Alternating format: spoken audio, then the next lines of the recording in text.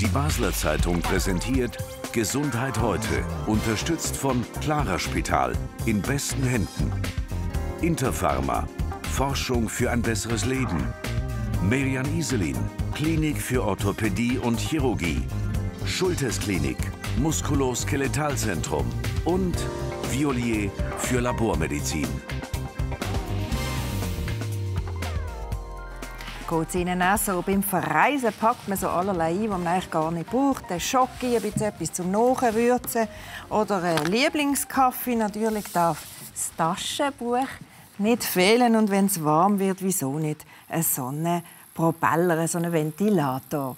Und die Sachen, die man wirklich braucht, die hat man nicht dabei und am Ferienort kriegt man sie auch nicht. Grüezi miteinander und herzlich willkommen. Sommerferien die stehen vor der Tür und wir Schweizer reisen fürs Leben gern. Mit dem Buchen von der Reise ist es aber nicht da. Es braucht eine gute Vorbereitung. Sonst kann eine Traumreise leicht einmal ins Gegenteil kippen. Verträumtes Verweilen am Teich. Bei uns problemlos möglich. Aber in vielen tropischen Ländern bergen stehende Gewässer ein großes Gefahrenpotenzial. Nelly Berci musste dies auf ihrer Bali-Reise erfahren. Also ich bin Ende der zweiten Woche krank geworden, habe hoch Fieber bekommen, extreme Muskelschmerzen also am ganzen Körper, viel schlimmer als eine Grippe, Übelkeit, Durchfall, extremes Kopfweh und die Augen haben so weh da. Die Ärztin vor Ort verschrieb Nelly Berci Antibiotikum, das wirkungslos blieb. Zwei Tage später klagte ihr Mann über dieselben Symptome. Nun stand fest, auf einer Reisfeldwanderung waren die Bertschis von Aedes-Stechmücken mit dem Dengue-Virus infiziert worden. Die ganz äh, grausamen Gliederschmerzen, das ist absolut brutal. Der Bein, Füße, ist alles extrem aufgeschwollen. Ähm, Gelenke sind sehr geschwollen selber und um die Gliedmasse. Und eben einen extremen Ausschlag haben wir. Eigentlich an den Beinen ganz stark und am Rücken. Sie sind kaum in der Lage zu duschen und sich abzutrocknen. Sie mögen das fast nicht. Also sie müssen einander wie helfen. Duschen und der Mann tut sie dann abtrocknen. Es ist grauenhaft. Sie können, ihre, ihre, ihre, sie können sich fast nicht bewegen. Das ist ganz, ganz schlimm. Die Bertschis beschlossen, ihre Ferien abzubrechen und nach Hause zu fliegen. Da es gegen Denguefieber keine Therapien gibt, mussten sie fast zwei Monate leiden, bis sie wieder ganz zur Lauf waren. Was gedenkt Nelly Bertschi künftig zu ändern? Also ganz klar, ähm, besser aufpassen, mehr einsprayen und sicher, äh, also die, die Reisfeldtouren, die wir gemacht haben, äh, die Reisterrassen wieder anschauen, das hätten wir sollen machen mit langen Kleidern oder also mit langen Hosen, vielleicht äh, drei Viertelärmel und den Rest dann gut einsprayen. Das haben wir natürlich nicht gemacht. So mit äh, sieben Achtelhosen und so. Also das ist natürlich schon ein bisschen leichtsinnig, oder? Denguefieber, das hat es auch schon in der Schweiz gegeben. Wie ist das möglich? Das wird jetzt von der Reisemedizinerin Dr. Daniel Jurech wissen. Also das Denguefieber ist ja durch eine muggenübertragte Krankheit. Mhm. Und solange es tropisch oder subtropisch warm ist, genug feucht ist, dann kann natürlich die Mugge auch bei uns überleben. Mhm. Sie wird natürlich gebracht, irgendwie. Mhm. Also zum Beispiel in einem Flugzeug kommt so eine Mugge hier im Sommer, genau. kann sie sich herrlich ausbreiten. Wo gibt es denn Denguefieber? Wir haben auch eine Karte. Überall, wo es wie gesagt, genug warm ist und genug feucht ist mhm. und nicht so strenge Winter sind, dort kann sich natürlich die Mugge fortpflanzen. Man sieht hier, die roten Gebiete sind besonders betroffen. Wie gefährlich ist Denguefieber? Es ist sehr unterschiedlich, ob man von den armen, unterernährten Einheimischen redet oder vom Tourist. Für den Tourist ist es nicht so gefährlich. Wir haben es bei der Frau Bertschi gesehen, es ist extrem unangenehm, man muss die Reise unter Umständen abbrechen. Aber im Vergleich mit Malaria, es ist nicht eine lebensgefährliche Krankheit. Mhm. Und es bleiben auch keine Langzeitschäden? Soweit man weiß nicht. Mhm. Insekten sollte man ja irgendwie sich schützen können. Sie haben uns ein paar Mittel und Sachen mitgebracht. Wie macht man das? Frau Bertschi hat es uns auch schon gut, kurz und bündig erklärt. Kleider, Kleider zusätzlich unter Umständen noch imprägnieren. Mhm. mit einem Insektizid. Mhm. Das, wofür schauen, gut und alle vier Stunden repetieren mit Muckenschutzmittel mit hochprozentigem Einstreichen. Mhm. Also das auf die Haut quasi?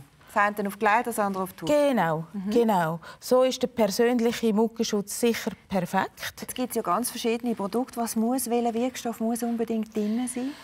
Beim Muckenschutzmittel ist es einfach ein Duftstoff, der Diethyltoluamid heisst. Mhm. Der ist international, wird mit DIT abgekürzt mhm. und muss 30% oder mehr beinhalten. Da haben Sie noch eine andere Büchse mitgebracht?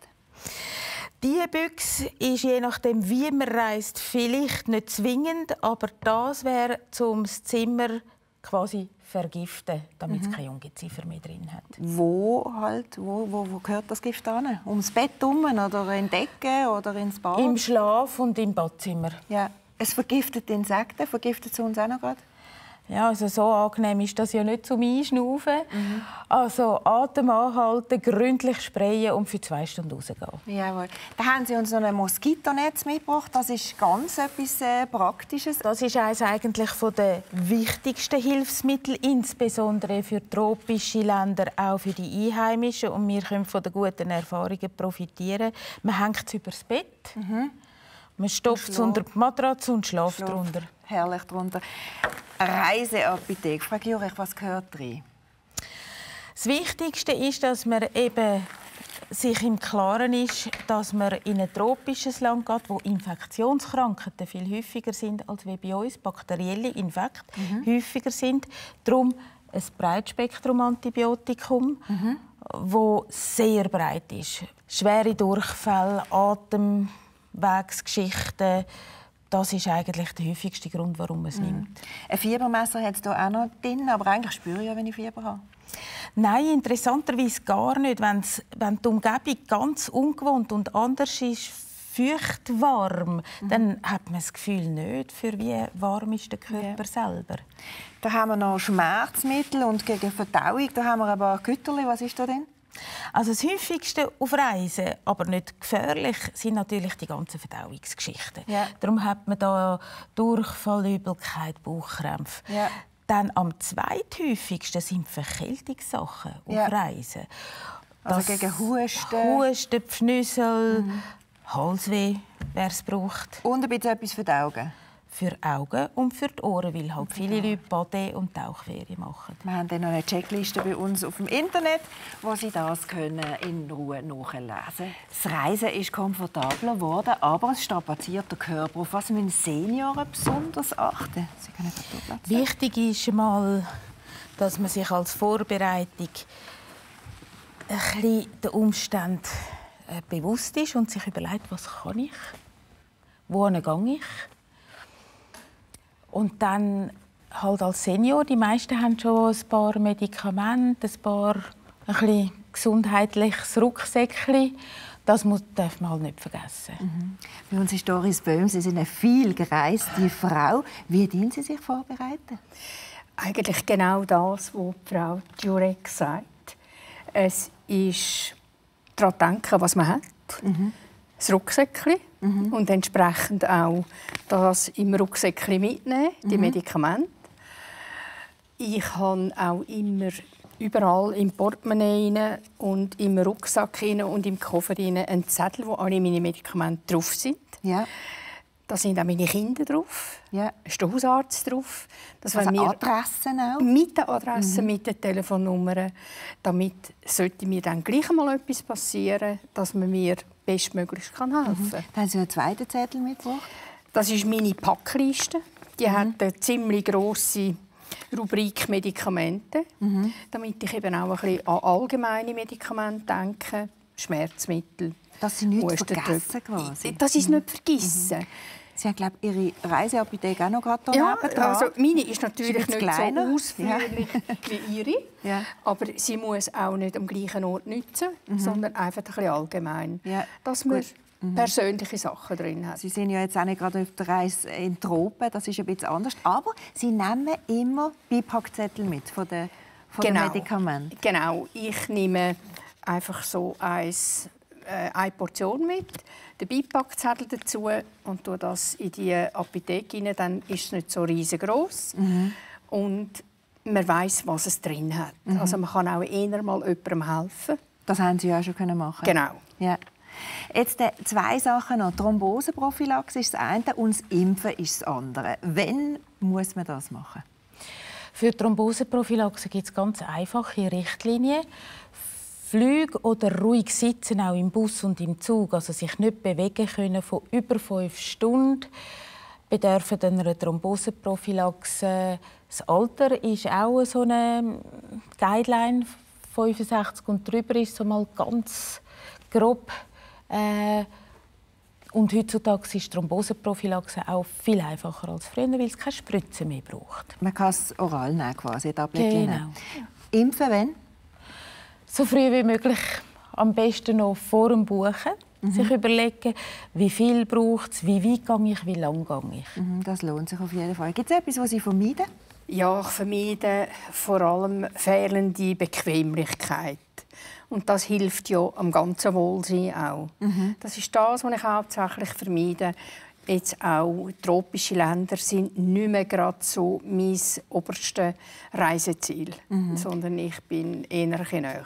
Also und auch ein bisschen dort, wo es ein bisschen komfortabler ist, genau. einfacher und sicherer. Genau. Danke schön genau. vielmals, Frau Böhm, und herzlichen Dank, Frau Giurech. Das Flugzeug ist ein wie der Bus, man steigt einfach ein. Tatsache ist aber auch, dass ein Drittel von allen Leuten Unbehagen verspüren oder sogar Flugangst haben. Einer davon war der Bruno Lanz. Der Traum vom Fliegen. Was viele Menschen zum Schwärmen bringt, war für Bruno Lanz lange Zeit mit größtem Stress verbunden. Er litt an Flugangst. Ich war sehr verspannt im Flugzeug und hatte Schweißausbrüche und so eingegangenes Blickfeld und, und wirklich Angstzustand. Angst vor, vor, vor Ungewissen, vor, vor der Luft vom vielleicht runterfallen oder so. Ja. Bruno Lanz versuchte, Flugreisen wann immer möglich zu vermeiden. Aus gutem Grund. Da sind wir mal noch auf London geflogen. Und beim Zurückfliegen nach einer langen Schönwetterperiode war kurz vor Zürich ein riesiger Gewitterherd. Und es ist dann wirklich extrem aufeinander gegangen und da war also Panik dann perfekt. Gewesen. Ja, also das sind, das sind einfach Angstzustände. Man, man sieht einem alles zusammen. Man schwitzt wie, wie wahnsinnig. Man ist nicht mehr aufnahmefähig. Man nimmt seine Umgebung fast nicht mehr wahr. Als ein Besuch bei Verwandten in Australien bevorstand, entschloss sich Bruno Lanz, seiner Flugangst zu begegnen und einen Psychologen aufzusuchen. Ich kann ihm einfach in dieser Sitzung müssen detailliert erklären, wie das abläuft und was ich spüre, wie ich das empfinde im letzten Detail. Und ich habe das eigentlich beim Erzählen förmlich durchgelebt und habe das ihm wirklich genau gesagt. Der Psychologe stellte noch zwei, drei Fragen und entließ seinen Patienten aus der Sitzung. Und ich wollte dann nachhaken und gesagt, er rede mit mir nicht über das. Ich sei jetzt geheilt, das sei weg. Und dann ist drauf, ja, nicht lange danach ist der Flug angestanden mit Australien und ich bin ein bisschen skeptisch dort eingestiegen. Und ich muss sagen, seitdem habe ich nicht eine Sekunde mehr Flugangst gehabt. Keine Sekunde, nicht. Nein, im Gegenteil, ich hatte Freude am Fliegen. Und seitdem fliege ich sehr viel und habe ich jeden Moment Freude, insbesondere beim Starten, wenn es so richtig auch meinen Sitz drückt. Und auch wenn es ordentlich schaukelt, oben, finde ich eigentlich jetzt glatt. Herr Lanz, wie erklären Sie sich die Wende? Ja, ich hatte eigentlich keine Lust mehr, Flugangst zu haben. Und habe dann den Herrn Hackel aufgesucht und bin schon mit der Überzeugung hingegangen, dass ich heute dort meine Flugangst beerdige mhm. und dass die weg ist. Mhm. Und so und ist es dann auch wirklich So ist es auch gewesen, ja. ja. Jetzt werde ich doch noch vom Herrn Hackel wissen. Wie haben Sie das gemacht? Das klingt so ein Hokuspokus. Ja, es kommt vielen so vor. Was er vielleicht nicht mehr erinnert, Herr Lanz, dass er hat müssen seine Flugangst verstärken. Mhm. Ich arbeite da mit einer paradoxen Intervention. Und das basiert darauf, dass Spontanphänomene nicht willentlich können erzeugt werden mhm. Also wenn Sie unbedingt einschlafen wollen, weil Sie am nächsten Tag gut äh, drauf sein und Sie versuchen einzuschlafen, dann geht das überhaupt nicht. Sie werden immer wacher. Mhm. Und Angst ist auch so etwas. Wenn man das versucht zu verstärken, dann verschwindet die. Mhm. Und äh, die Kunst ist eigentlich die, dass die meisten finden, ja, ich will doch eigentlich keine Angst haben, jetzt muss ich sie erst recht machen. Was passiert mir dann? Also dort ist die Kunst, jemanden davon zu überzeugen, dass er das dann auch macht. Aber Sie empfehlen eigentlich etwas, was ja gar nicht geht. Oder? Ich sollte mir Richtig. Angst erzeugen, das kann ich ja gar nicht. Richtig. Aber ich soll es trotzdem machen. Ja, probieren. Ich sage nur probieren. Probieren? Ja. Und das hat wirklich so funktioniert? Das hat bestens funktioniert, ja. Für uns ist auch Bettina Schindler. Sie machen ein Flugangstseminar für die Swiss. Wo setzen Sie an? Ja, wir versuchen eigentlich den Leuten, die zu uns ins Seminar kommen, ein Instrument an die Hand zu geben, damit sie ihre Angst in den Griff bekommen. Also wir tun eigentlich mehr oder weniger das Umgekehrte machen, sodass sie wirklich ihre Angst kontrollieren können, weil viele ja wirklich sehr darunter leiden. Und das ist eine Zusammenarbeit von ähm, mir als Psychologin zusammen mit den Piloten wo ähm, Piloten sehr viele Informationen auch geben über das Fliegen, über die Flugsicherheit, über die Geräusche, die vielen Leuten Angst machen, über die Turbulenzen, die vielen Leuten Angst machen, warum fliegt überhaupt das Flugzeug. Und dann zusätzlich die äh, eben mehr psychologischen Mittel, zum Beispiel Entspannungsübungen, ähm, Atemübungen und auch Übungen zum Gedanken, die katastrophisierenden Gedanken umwandeln in positive Gedanken. Mhm. Und noch so etwas mit einem Gummibändchen machen Sie? Wie geht denn das? Ja, das ist der Gedankenstopp. Also die Leute sollten versuchen, ihre, ihre schlechten eben Katastrophengedanken, die sie haben, äh, versuchen ganz klar zu stoppen, indem sie sich innerlich Stopp sagen und so ein Gummi schnalzen lassen, ähm, am Arm. Das gibt dann so einen richtigen Zwick und sollte sie einen Moment lang zumindest einmal äh, zurückholen in die Realität und weg von ihren Fantasien. Mhm. Herr Hagel, wenn Sie Ihren Patienten sagen, sie sollen noch mehr Angst haben, wie machen Sie denn das? Wie macht man das überhaupt? Also, äh, muss ich jetzt sagen, muss ich schreien oder wie mache ich das? Nein, konzentriert sich vor allem auf die Symptome. Yeah. Also versucht, äh, versuchen Sie noch schneller mit dem Herz zu schlagen. Er weiß natürlich nicht, wie das geht. Mhm. Aber man kann es immerhin wählen und probieren. Mhm. Wie erfolgreich sind Sie? Etwa 95 Prozent lösen sich auf. Mhm. Was darf man denn erwarten bei Ihnen, wenn man so ein Seminar macht? Man kann sagen, dass 95 Prozent Abschlussflug mitmachen. Und, äh, das ist für viele schon ein riesen Erfolgserlebnis, weil viele auch jahrelang nicht geflogen sind. Und dann nach dem Seminar kommt es eigentlich recht darauf an, wie, wie fließig man auch weiterfliegt. Also die, die wirklich äh, relativ viel fliegen, die kommen dann häufig oder meistens die Angst ganz in den Griff über. Und die, die dann sehr lange nicht mehr fliegen, dann kann es schon sein, dass die Angst auch wieder ein bisschen kommt. Also sich auch quasi dem Geschehen ein exponieren. Wie häufig fliegen Sie? Ja, äh, liebend gern, aber es ist immer eine Frage von der Zeit, aber doch schon zwei, dreimal im Jahr. Ja. Sehen Sie auch Rückfälle bei Ihren Patienten? Rückfall eigentlich nicht, nein. Mm nein. Es gibt einfach solche, die anstehen, die Mühe haben. Äh, es ist ja jeder Mensch verschieden. Mhm. Und darum ist es auch gut, dass es verschiedene Wege gibt, wie man das angehen kann. Mhm. Begleiten Sie aber auch die Leute auf den Flug? Auf den Flug bis jetzt nicht, nein. Mhm. In Luftseilbahnen zum Beispiel schon. Ja. Es Was? ist ja noch schwierig, äh, etwas zu machen, wo man eigentlich dagegen ist und wie überzeuge ich jemanden. Also das ist schon, mhm. Manchmal braucht es eine Begleitung und das mache ich auch. Und wenn Sie sie begleiten auf dem Flug, was machen Sie denn während dem Flug? Ähm, ich schaue mal, dass sie vor allem körperlich sich entspannen, weil viele sitzen ja völlig verkrampft so in ihren, äh, ihren Sitz, also eben indem sie zum Beispiel Bauchatmung machen und äh, Entspannungsübungen, die sie vorher gelernt haben. Ich versuche auch mit ihnen über, über äh, ihre Gedanken zu reden und dann natürlich zusammen mit ihnen auch die Geräusche und die Bewegungen vom Flugzeug richtig einzuordnen. Mhm. Also wirklich das nochmal durcherleben. Ja, genau. Spannend. Mhm. Danke vielmals, Frau Schindler. Herzlichen Dank, Herr Lanz. Und danke vielmals, Herr Hackel. Und Ihnen empfehle ich mal auf www.seniorweb.ch zu gehen. Dort finden Sie noch viele weitere Informationen für Vorbereitungen auf die Reise, vor allem für Senioren.